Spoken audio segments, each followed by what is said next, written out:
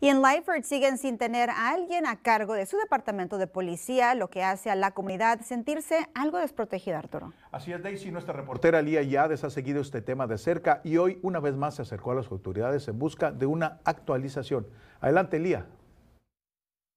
¿Qué tal, Daisy Arturo? Me encuentro en la ciudad de Lyford, donde estas puertas del departamento de policía se han mantenido cerradas por casi cuatro meses, ya que no han encontrado un jefe de policías para que se haga responsable del departamento.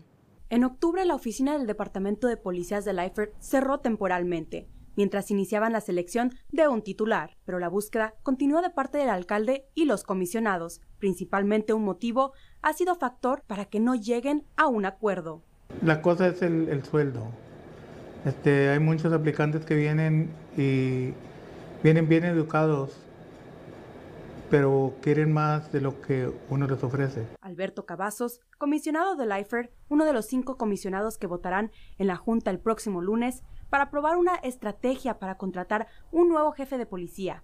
Tenemos ahorita 15 aplicantes y de esos 15 o 16 que tenemos, le vamos a irnos al que nosotros pensemos que nos haga más beneficio para nosotros. Los comisionados optan por tener un jefe de policías lo antes posible, por la vigilancia de los vecindarios y tener a un responsable de esa seguridad.